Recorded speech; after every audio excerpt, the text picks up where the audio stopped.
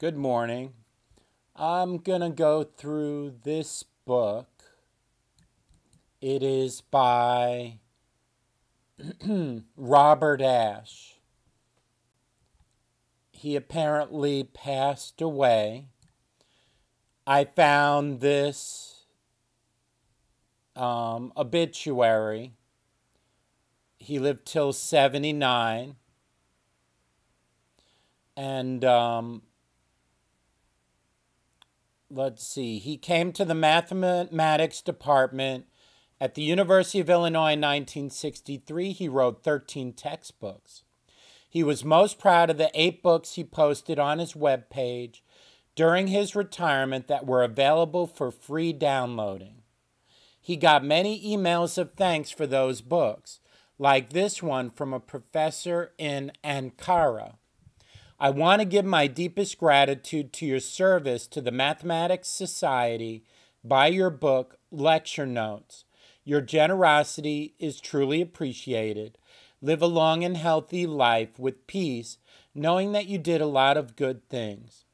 In addition to teaching and writing math, he loved learning. He had just started studying elementary physics, and he loved jogging. After his first sabbatical, his required report to the department chairman listing sabbatical accomplishments included a five minute, five minute and eight second mile. That is pretty good.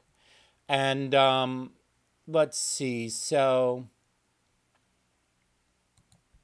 he was at Urbana, Illinois, uh, Champaign. Um, the eight books, I assume one, two, three, four, five, six, seven, and I guess this GP tutorial. I'll link these pages. We'll go through this book of his. Uh, it's good for self study. He has solutions to the chapters. Um, I'll start by reading the preface and then I will go to reading other parts of the book. I noticed that Robert Ash had various PhD students.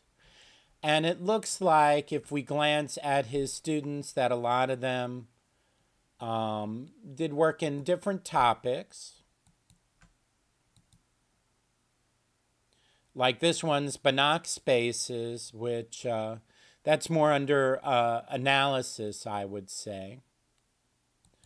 And you'll notice that every one of his students, um, well, several of them, not every one, you know, have descendants or students that they've trained more than don't. So he has uh, students, descendants, books.